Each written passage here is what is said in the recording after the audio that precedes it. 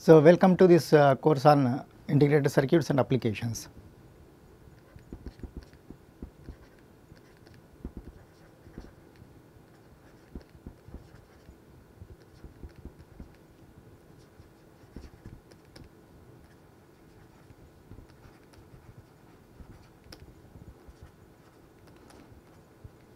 So, in this lecture uh, first uh, I will give the brief introduction to uh, integrated circuits, different types, the uses of uh, these integrated circuits and then uh, we will uh, consider one of the popular integrated circuits such as uh, operational amplifier.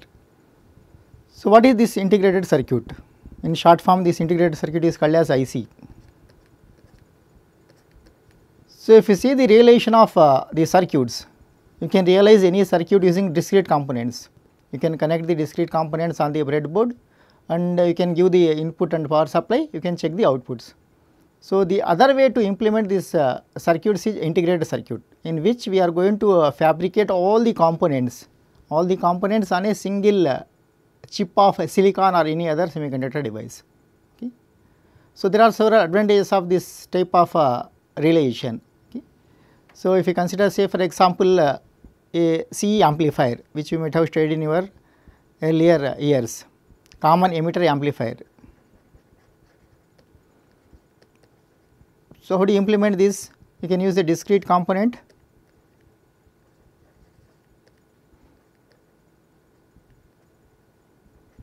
based realization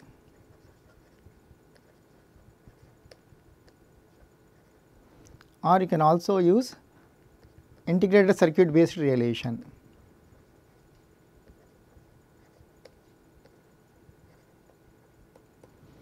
If you take a typical circuitry, this will be something like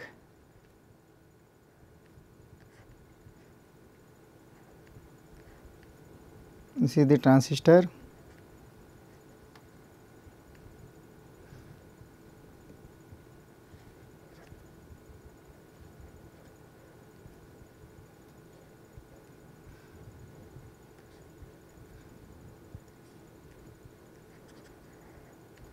These are the bias resistances.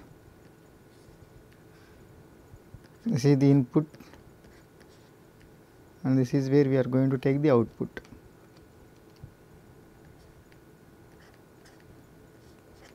This is output, this is input. This point is grounded, this is ground terminal and this is VCC terminal.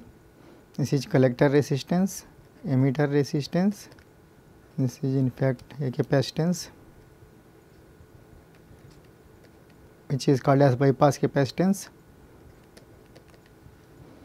this is R1 R2 this is basic circuit diagram of a common emitter amplifier so here how many components are there 1 2 3 4 5 5 resistors and 3 capacitors so, you can implement this using uh, 5 resistors and uh, 3 capacitors you can connect on a breadboard and you can give the VCC power supply of around 5 volts and this point you can ground.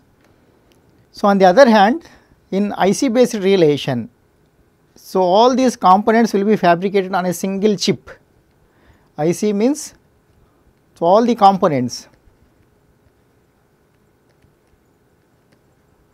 These components uh, includes active as well as uh, passive.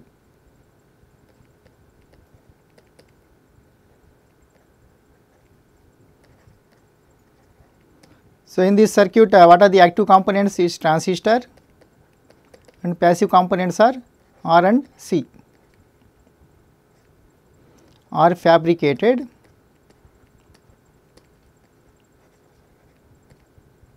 On a single chip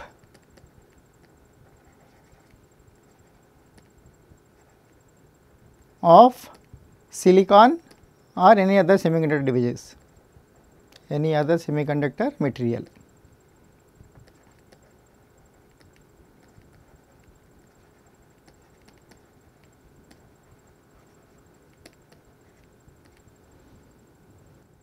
So, here we will have a IC form, this is an integrated circuit. So, typically here what are the accessing points the input, output, VCC and ground 4 pins are enough.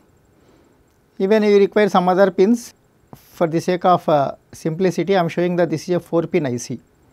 This is a 4 pin IC. I will call this as C amplifier. So, what are the 4 pins? One is input pin, another is VCC, output pin, ground. This is not exactly any IC, but just I am giving as an example. So, these are the two relations. One is discrete component based relation, another is IC based relation. I have defined the IC, what is meant by IC? IC nothing but a circuit in which all the components active as well as passive components are fabricated on a single chip of either silicon or any other semiconductor material. So, what are the advantages of these ICs?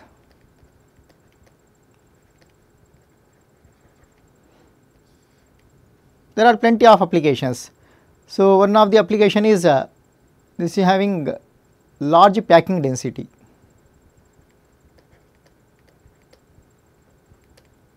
In the sense, so many of such components can be fabricated in a given small area. If I take this area of the typical area of a small scale integration circuits that we are going to discuss later is of the order of 1 mm square. Within 1 mm square, we can fabricate nearly 10 components.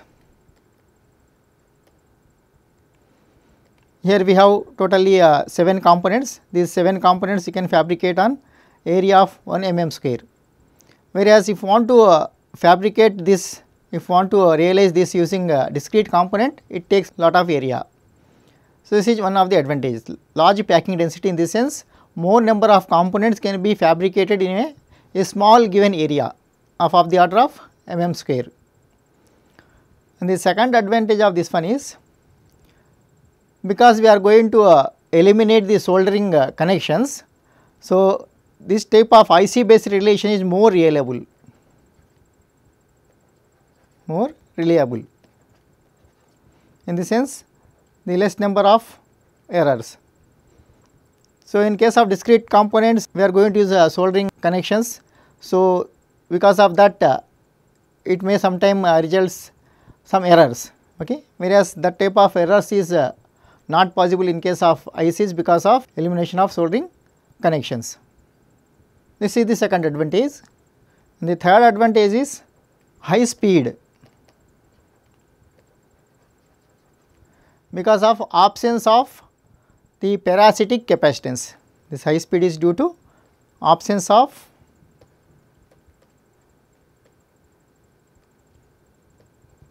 parasitic capacitance.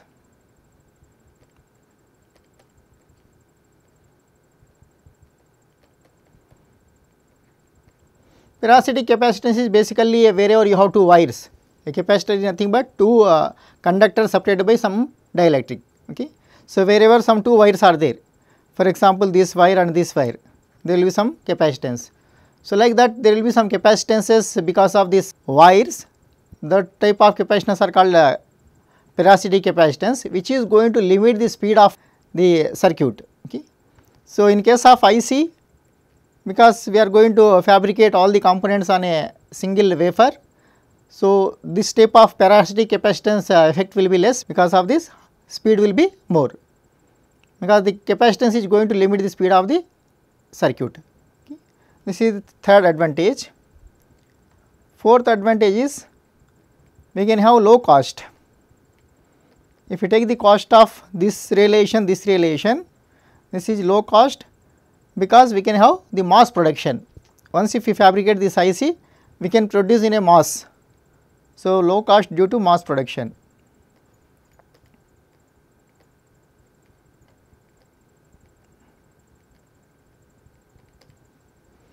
And fifth advantage is this requires low power. IC based relation requires low power. So, because of these advantages Nowadays, uh, most of the circuits will be having IC based relations instead of having discrete component based relation. So, most of the relations will be using ICs only. So, this is about the difference between the discrete component based relation and IC based relation and the uses of uh, IC based relation. So, next I will discuss about the classifications of uh, ICs. ICs will be classified based on the way in which the components are fabricated on the substrate.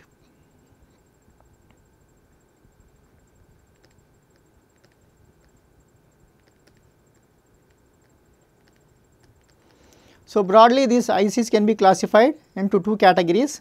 So, one is called as monolithic IC.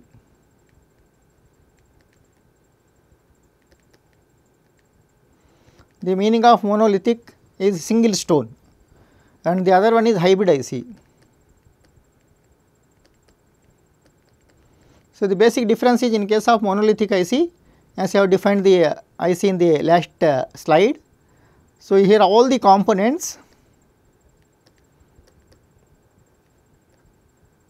which includes active as well as passive are fabricated on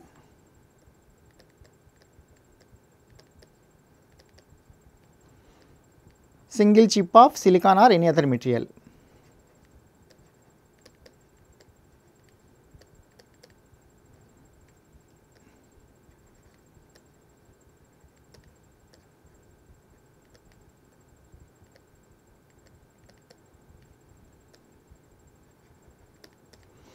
Whereas here we will divide the components as active and passive. First the passive components.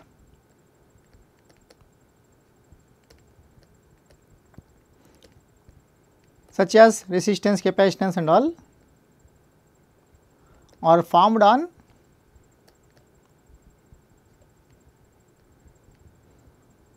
silicon substrate, silicon or any other semiconductor material.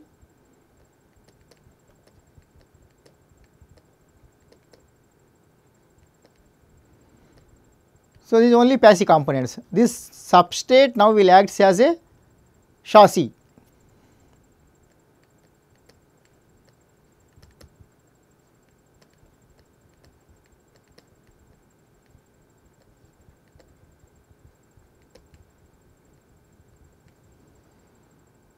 Then the active components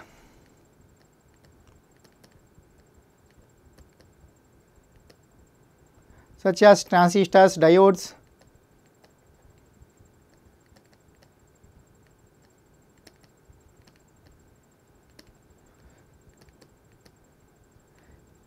and even this monolithic IC also we can fabricate here. Monolithic IC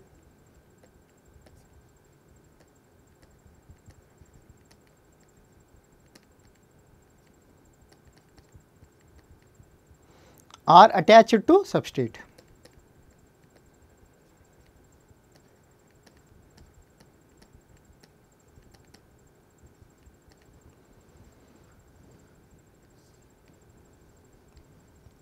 Now, what are the relative uh, merits and demerits of uh, monolithic IC and uh, hybrid IC?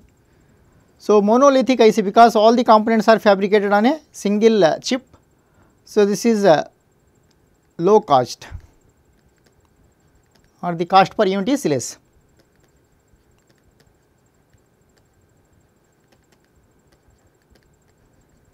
In case of mass production,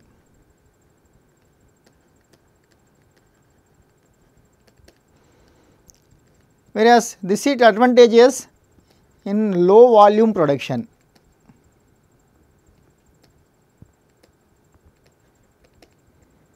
So, this is advantageous in mass production, this is advantageous in low volume production.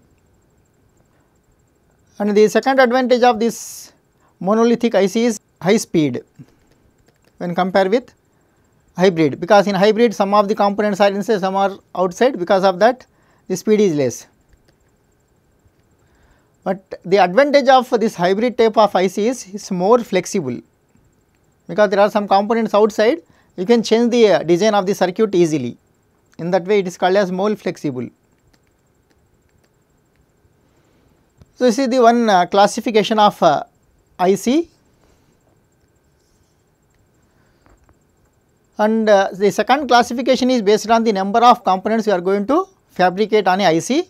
We have three type of uh, four types of technologies one is called small scale integration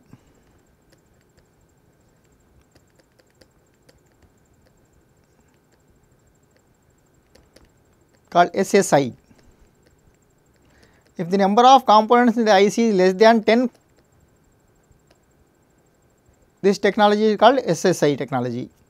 And the second one is called medium scale integration, is called MSI. If the number of components are less than 100, then this type of uh, technology called medium scale integration. And the third one is large scale integration LSI. Here the number of components are between 100 to 1000. And there is one more called very large scale integration, very large scale integration.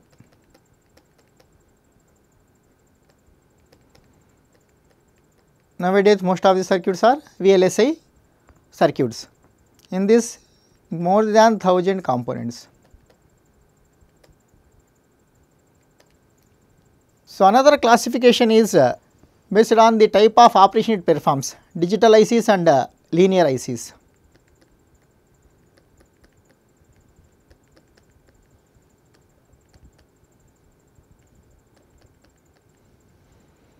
As the name implies digital IC, so this performs the various uh, digital operations such as implementation of the gates, comparators, multiplexer, demultiplexer, counters and all. So, here one of the advantage of this digital type of IC is the design of digital IC is easier because this digital IC it requires only the input output and uh, power supply. This requires only input output and power supply.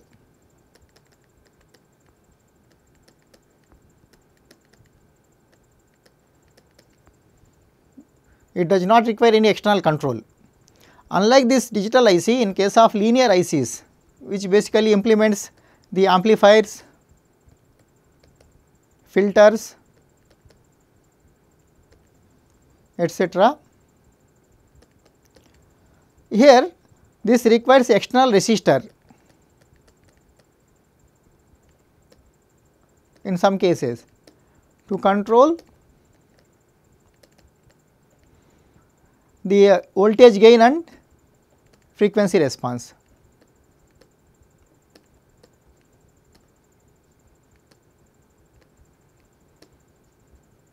Whereas in digital there is no need of any external resistance because it operates on only two voltages low and high. Ideally if I take low this is 0 volts, ideally this is 5 volts, but normally the range of voltage will be taken as low and range of voltage will be taken as high. Whereas here because this uh, voltage varies from plus VCC to minus VCC normally this range of this uh, supply voltages will be of the order of plus or minus 5 volts to plus or minus 25 volts. So, this requires external resistors to control sometimes the voltage gain and frequency response. So, mostly these linear ICs are analog in nature, this is also called as analog ICs.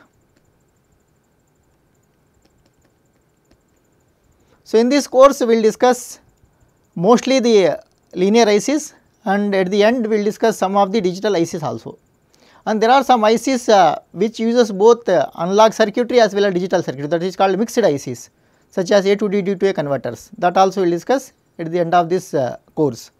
So, initially I will start with one of the popular analog IC or linear IC is called operational amplifier.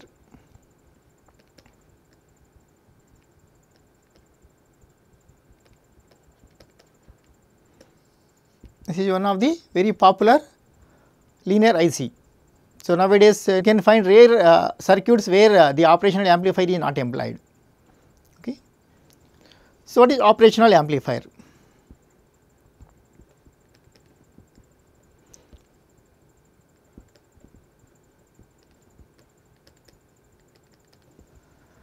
So, basically operational amplifier is a differential amplifier.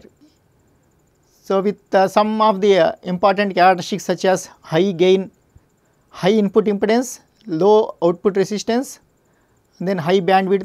On the other hand This is not only amplifier, this also performs some mathematical operations such as addition, subtraction, multiplication, exponential function, logarithmic function that is why the name operational amplifier. This is amplifier in addition to this amplification, this also performs some mathematical operations such as addition, subtraction, multiplication, division, logarithmic operation which we are going to discuss in the coming uh, lectures. So, if we take the block diagram of this uh, operational amplifier basically this is a differential amplifier which you might have studied in your uh, analog circuit course. So, basically there are 4 stages of this operational amplifier. The first stage is called input stage.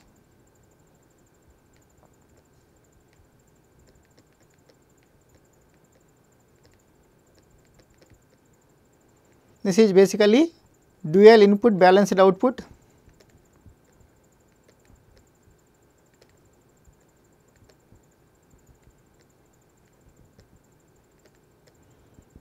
Differential amplifier.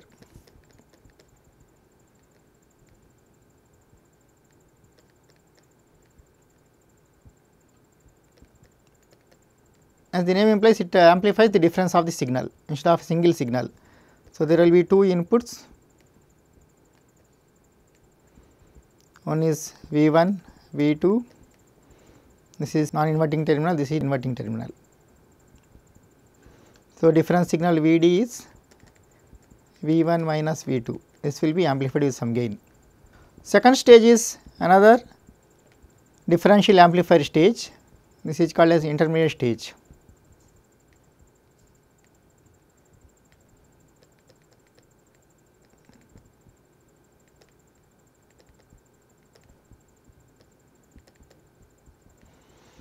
This is also similar to of uh, this uh, differential amplifier. The difference is only here. This is also dual input, but it is called as unbalanced output.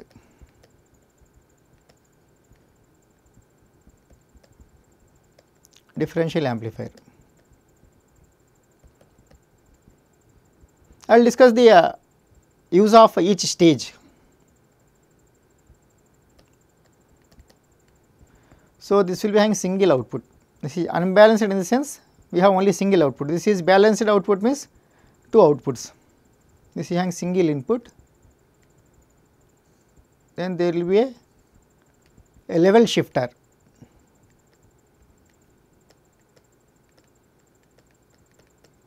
Stage. This is basically an emitter follower which you might have studied in your uh, analog circuit course. follower with constant current source.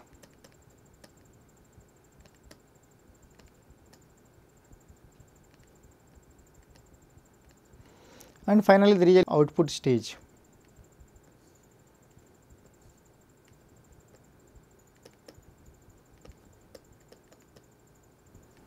Then finally, you will get output V naught which is some gain times input Vd, Vd is the difference signal difference signal will be amplified with some gain. So, this output stage is basically a, a push pull type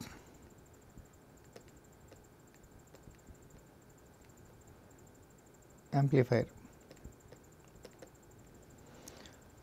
Now, what are the uh, uses of uh, each and uh, every block? So, first if I take the input stage dual input balanced output differential amplifier most of the voltage gain will be provided by this stage.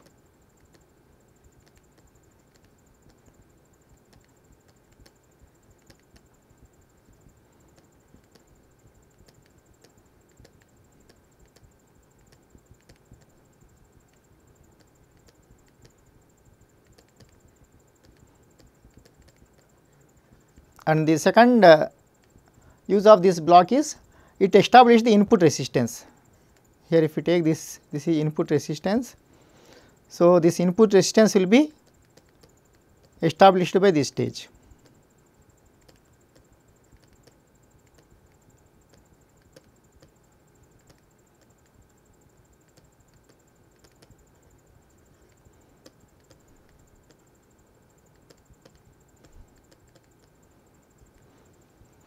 Whereas the second uh, stage which is uh, intermediate stage, this also again a differential amplifier also provides some voltage gain.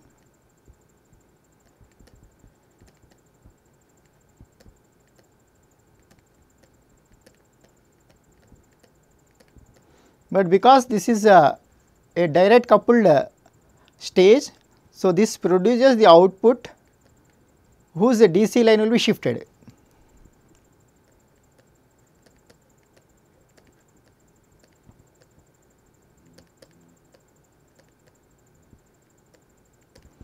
Above ground level.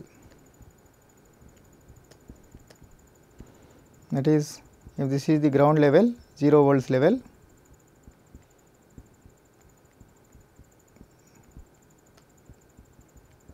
So, the output voltage will be something like this. This is DC voltage above ground level. See now to bring this DC level to the ground, we are going to use a level shifter. So, level shifter is going to bring the DC level to ground.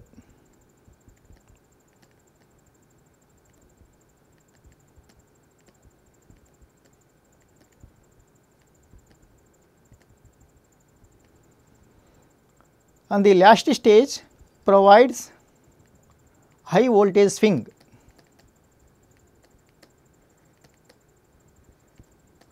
In the sense, in the sense the range of the output voltages.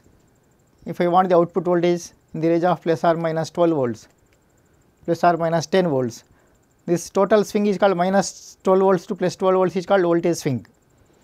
So, this stage is responsible for uh, producing the high voltage uh, swing and another advantage of this block is, so this establishes high current carrying capacity.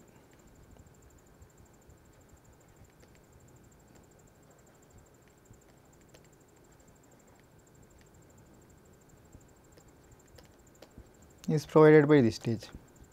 So, that this is having high current. So, if I connect this to the, the other circuitry, it can drive many of these devices. If I connect to the number of devices, so in fact ideally it can uh, drive the infinite number of devices practically. So, many of such devices can be drive by this current because this current is large, this current provided this is large. So, this is enough to drive this many such output devices that is the advantage. In the other use of this uh, last stage is which is called as output stages, if we properly design this provides the low output resistance.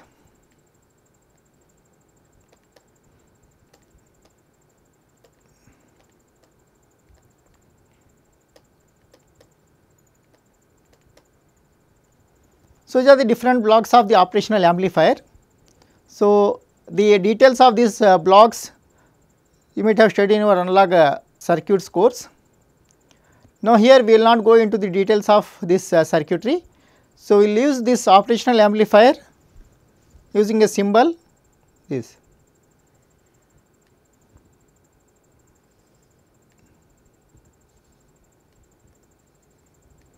This is the symbol used for operational amplifier.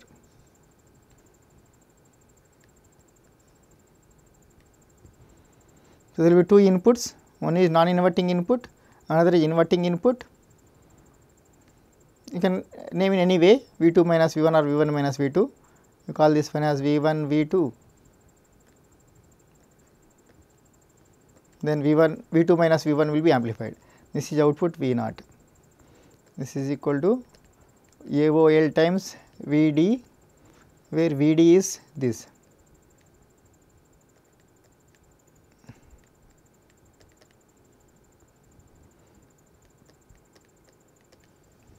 If we take the equivalent circuit of the operational amplifier, this is called operational amplifier equivalent circuit. In short form this is called as op amp.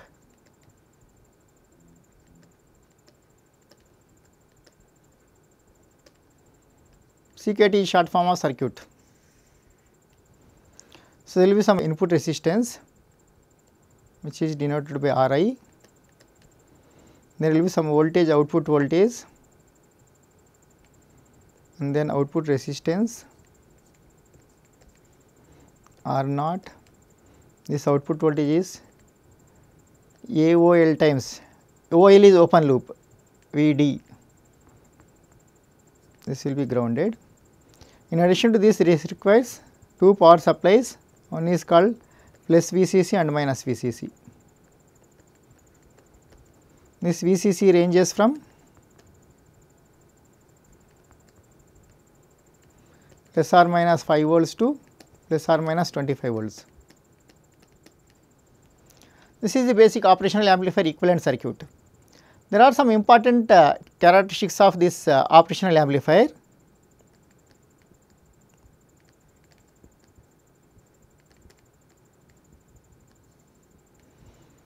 which are called as voltage gain,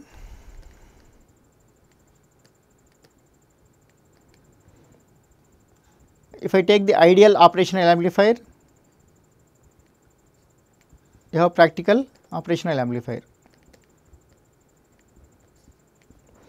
In ideal, the voltage gain is infinity. Voltage gain of the amplifier should be infinite so that it can amplify even a weak signal also. In many applications, the signal to be amplified is very weak of the order of millivolts or microvolts.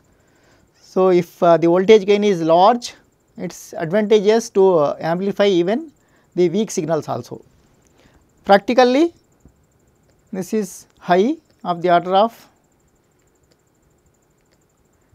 if I take a practical 741 IC, this is one of the popular uh, operational amplifier is 741. This voltage gain is the order of 2 into 10 to the power of 5, very high. And the second parameter is called input resistance.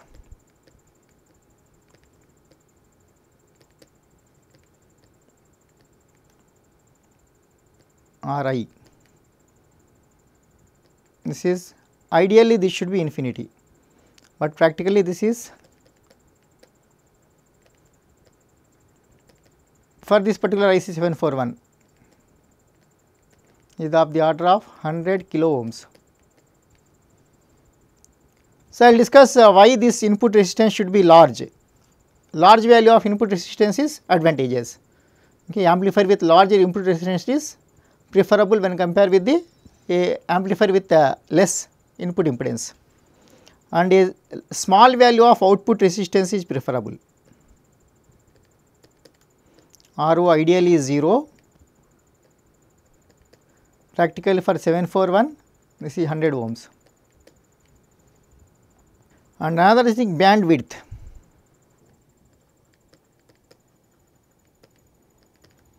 We can use this operation amplifier to amplify both the DC signals as well as AC signals. Okay. If AC signal is applied here, what is the frequency range of the signal that can be amplified faithfully means without any distortion.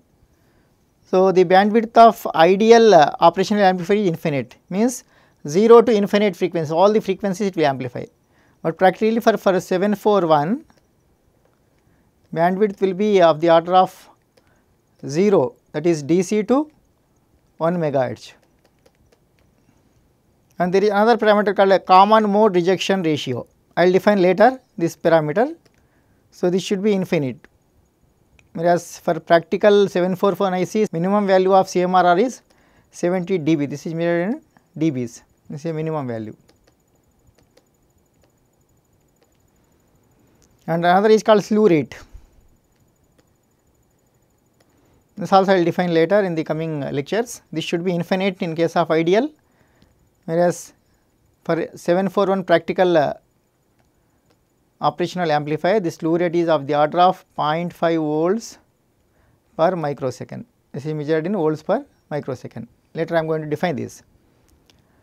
So, before going for this the uh, ideal and practical circuits, I will first explain why the input resistance should be very large for a good amplifier, output resistance should be less. Okay.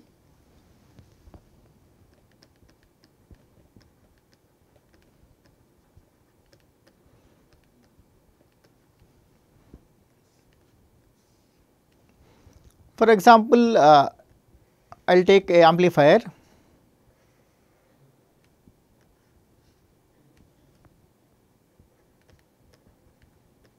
Mm, after amplification this will produce some output signal. Suppose if I feed the input signal to this amplifier, the amplifier will have some input resistance. Let this is the input resistance of the amplifier Ri. So, how to feed this signal I require a signal source.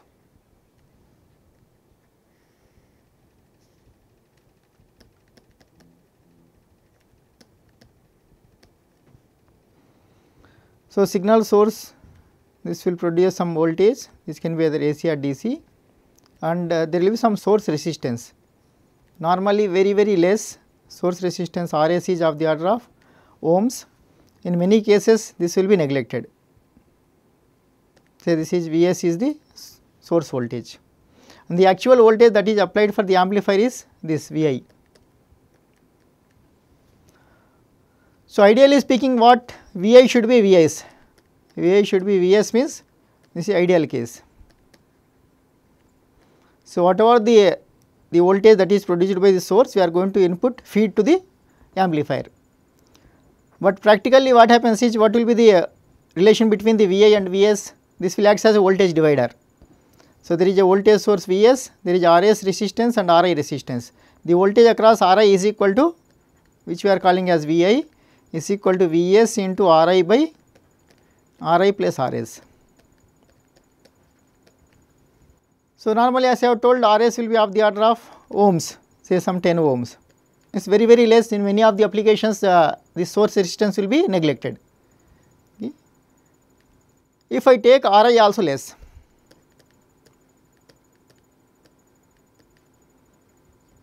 so this is also 10 ohms.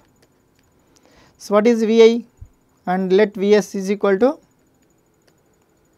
5 volts. What is Vi is equal to Vs into Ri by Ri plus Rs. This will be 5 volts into 10 by 20 this is equal to 2.5 volts.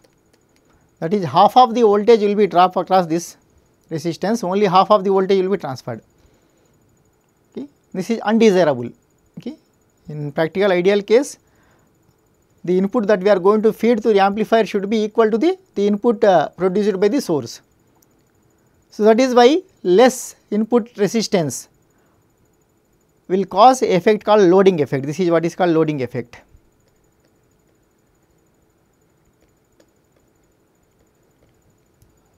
So, in order to avoid this loading effect Ri should be large. On the other hand if Ri is large say of the order of say Ri is some 10 kilo ohms. Then what is Vi? Vs into Ri by Ri plus Rs. This is 5 volts into this is Ri is 10,000 divided by 10,000 plus 10, 10,000 10. This is almost this uh, division is almost unity. So, 5 volts will be approximately 5 volts will be transferred to the amplifier. This is the desired uh, situation. Okay. This type of situation is desired where the entire the voltage that will be generated by source has to be delivered to the amplifier. Okay. That is why Ri should be large.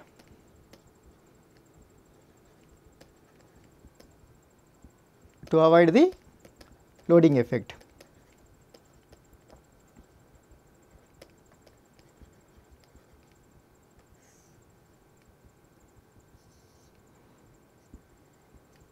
So, in any case a large value of Ri means it is a good circuit. Okay. So, then uh, output resistance why output resistance should be low?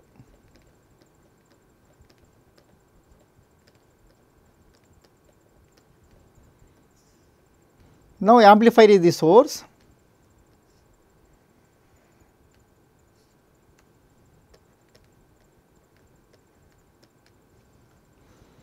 So, this will produce some output voltage, this will be having some output resistance, some voltage or output resistance, output resistance will be in series. So, this produce some voltage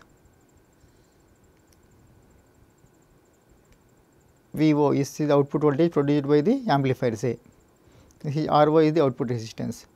So, where we are going to feed this output resistance to some load with some load resistance RL.